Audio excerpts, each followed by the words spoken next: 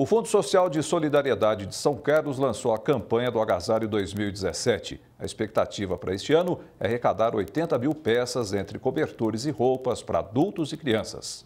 Calçados também podem ser doados. Quem quiser participar desta ação, basta procurar as caixas da campanha que estão espalhadas pela cidade. Os principais pontos de arrecadação são a Prefeitura e a Câmara Municipal. Para este ano, o tema da campanha é Quem ama, doa, quem recebe, agradece.